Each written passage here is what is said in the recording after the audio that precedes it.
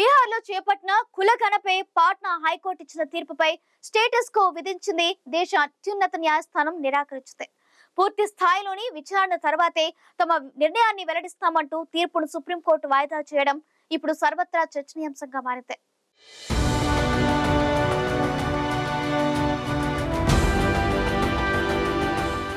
గతంలో బీహార్ ప్రభుత్వం చేపట్టిన కులగణ సర్వే సమర్థిస్తూ పాట్నా హైకోర్టు ఇచ్చిన తీర్పును సవాల్ చేస్తూ ఎన్నికల పిటిషన్లు దాఖలయ్యాయి.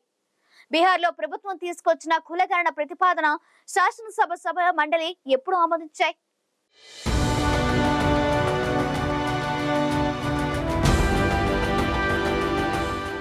బీహార్ రాష్ట్రంలో చేపట్టిన కులగణనపై పాట్నా హైకోర్టు ఇచ్చిన తీర్పుపై స్టేటస్ కో విధించేందుకు దేశ అత్యున్నత న్యాయస్థానం నిరాకరించింది. పూర్తి స్థాయిలో విచారణ తర్వాతే తమ నిర్ణయాన్ని వెల్లడిస్తామంటూ తీర్పును సుప్రీంకోర్టు వాయిదా వేసింది. బీహార్ ప్రభుత్వం చేపట్టిన ప్రభుత్వ కులగణన సర్వేను సమర్థిస్తూ పాట్నా హైకోర్టు తీర్పు ఇచ్చింది. అయితే దీన్ని సవాల్ చేస్తూ జస్టిస్ సంజయ్ ఖన్నా జస్టిస్ ఎస్వీఎన్ భట్టీలతో కూడిన ధర్మాసనం ఆ పిటిషన్ విచారణకు తీసుకున్న అనంతరం స్టేటస్ కో విధించేందుకు నిరాకరించారు.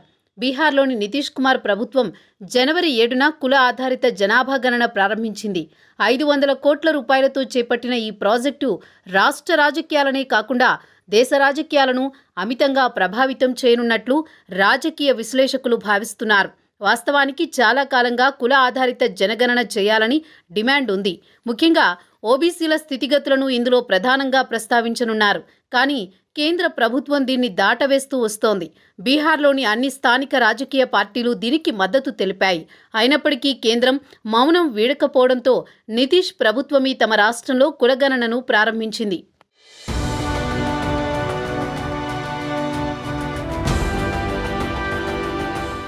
అయితే కులగణనను సవాల్ చేస్తూ పాట్నా హైకోర్టులో మొదట పిటిషన్ దాఖలైంది. ఆ సమయంలో కులగణన చేపట్టే అధికారం రాష్ట్ర ప్రభుత్వానికి లేదని పాట్నా హైకోర్టు తొలుత తీర్పు ఇచ్చింది. పాట్నా హైకోర్టులో ఆరు పిటిషన్లు దాఖలయ్యాయి. దీనిపై విచారణ జరిపిన కోర్టు మే నాలుగున తాత్కాలిక స్టే విధించింది. ఈ నిర్ణయాన్ని సుప్రీంకోర్టులో ప్రభుత్వం సవాలు చేసింది. ఈ కేసును తిరిగి పాట్నా హైకోర్టుకే తిరిగి పంపింది దేశ అత్యున్నత ధర్మాసనం. దీనిపై హైకోర్టులో ఐదు రోజుల పాటు విచారణ కొనసాగింది. అనంతరం జూలై ఏడున కోర్టు తన నిర్ణయాన్ని రిజర్వులో పెట్టింది. పాట్నా హైకోర్టు తీర్పు వెలువరిస్తూ కులగణనపై నిషేధాన్ని తొలగిస్తున్నట్లు తీర్పు చెప్పింది. కులగణనకు వ్యతిరేకంగా దాఖలైన అన్ని పిటిషన్లను కోర్టు కొట్టివేసింది. దీంతో కులగణన చేపట్టేందుకు బీహార్ ప్రభుత్వానికి మార్గం సుగమమైంది.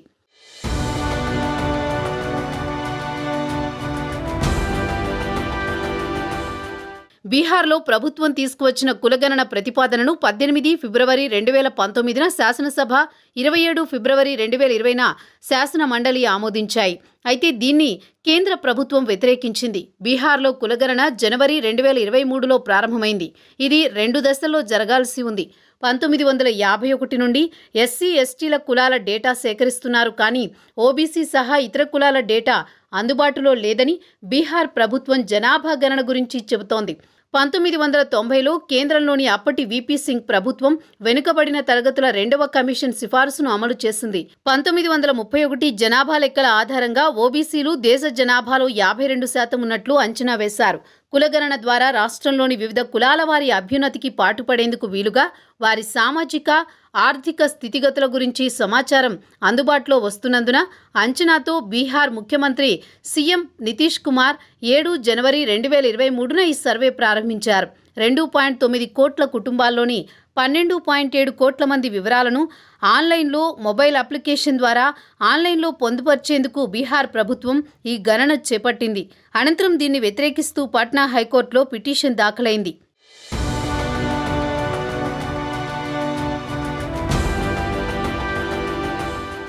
బీహార్లో మొదటి రౌండ్ కులాల సర్వే జనవరి ఏడు నుంచి ఇరవై ఒకటి మధ్య నిర్వహించబడింది. రెండవ రౌండ్ ఏప్రిల్ పదిహేనున ప్రారంభమై మే పదిహేను వరకు కొనసాగాల్సి ఉండగా మే నాలుగున పాట్నా హైకోర్టు కులగణనను నిలిపివేసింది.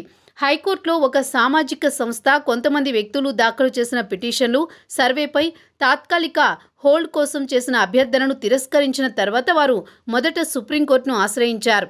వివిధ కులాల ఓటర్లను ప్రలోభపెట్టేందుకు బలమైన ఎత్తుగడగా భావించిన ఈ జనాభా గణనపై బీహార్లో తీవ్ర చర్చ జరిగింది.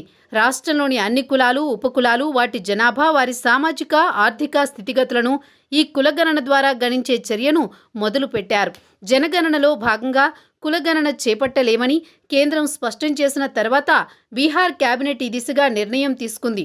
బీహార్ జనాభా సుమారు పన్నెండు పాయింట్ ఏడు సున్నా కోట్లు ఉండగా రాష్ట్రంలో సుమారు రెండు పాయింట్ ఐదు ఎనిమిది కోట్ల కుటుంబాలు ఉన్నాయి. తాజాగా కులగణనపై పాట్నా హైకోర్టు ఇచ్చిన తీర్పుపై స్టేటస్ కో విధించేందుకు దేశ అత్యున్నత న్యాయస్థానం నిరాకరించడంతో ఈ కులగణన వ్యవహారం ఎప్పటి వరకు తేలుతుందనేది ఇప్పుడే చెప్పలేని పరిస్థితి నెలకొంది.